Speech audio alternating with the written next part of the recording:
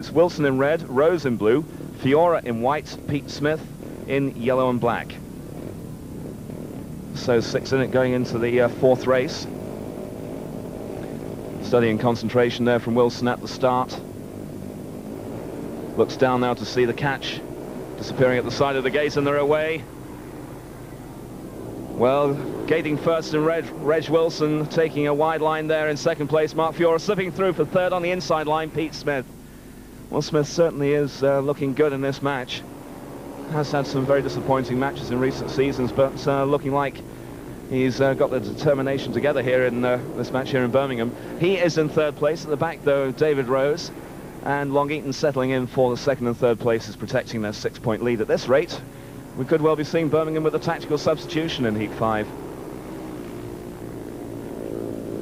So Wilson opening up a 20, 30 yard lead now over Fiora. Wilson with scores, uh, well, a paid maximum in that televised match against Exeter. He's had 11 points against Rye House, 11 against Canterbury, and 9 paid 10 against Poole. Really has been a tower of strength at the top of the uh, averages here at Bordesley Green so far. So Wilson leads for the BRMB Brummies, second and third for the Radio Trent Invaders, Mark Fiora and Pete Smith. At the back in blue, David Rose. Well, coming into the checkered flag, that's the way it stays. Wilson wins.